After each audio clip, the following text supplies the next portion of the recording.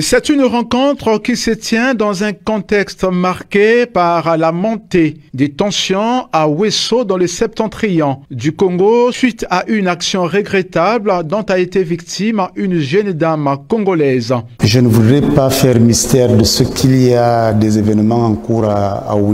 Cette euh, audience qu'a bien voulu m'accorder euh, son Excellence, Monsieur le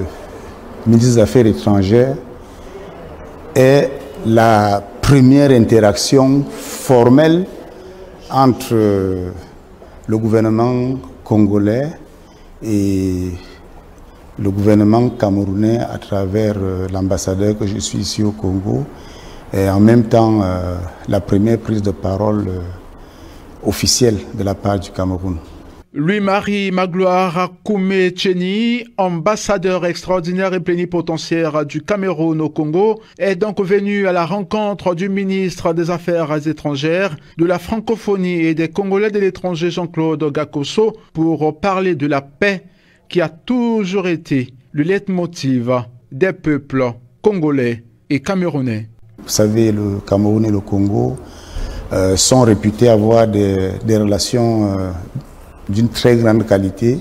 que ce soit au niveau de nos deux chefs d'État, au niveau de l'échange des personnalités et de la qualité de, des relations entre nos deux communautés. Et notre échange a davantage porté sur euh, les mesures d'apaisement qui sont déjà en train d'être prises et côté congolais, euh, tout le dispositif de sécurisation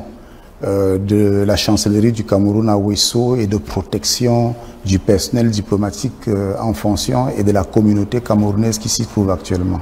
Le diplomate camerounais a saisi cette occasion pour lancer un message d'apaisement et de sagesse à la communauté camerounaise du Congo.